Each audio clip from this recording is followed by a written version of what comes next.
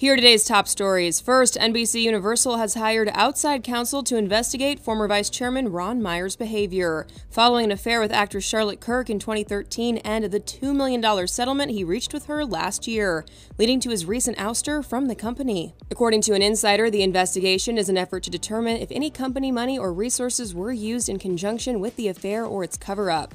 The goal is to determine if the media giant was unwittingly a party to any impropriety.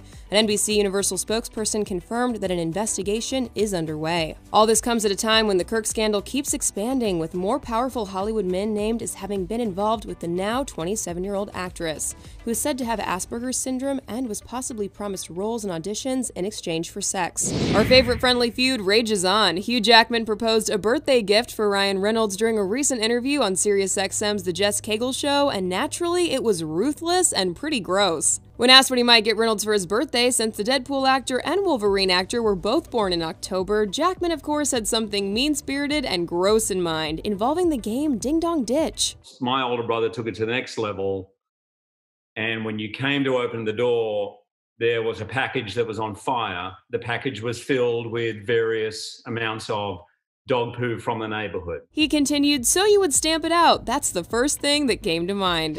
Following the second night of the Republican National Convention on Tuesday, Stephen Colbert is giving his candid thoughts with a live post show analysis segment on The Late Show. THR's Neha Joy has more. The beginning moments included an animation of Trump singing the ABCs of the RNC alongside First Lady Melania, his son Eric, and daughter Tiffany.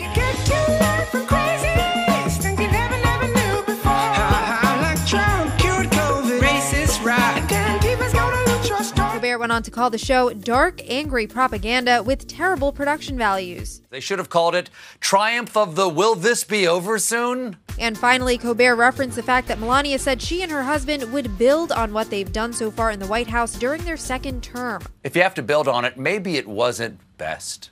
For more on all these stories, head to THR.com. For the Hollywood Reporter News, I'm Tiffany Taylor.